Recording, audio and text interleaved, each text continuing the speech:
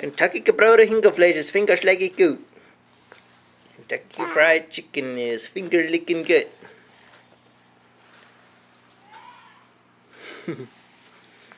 Kentucky gebraute Hinkerfleisch is fingerschlägig gut. Say it.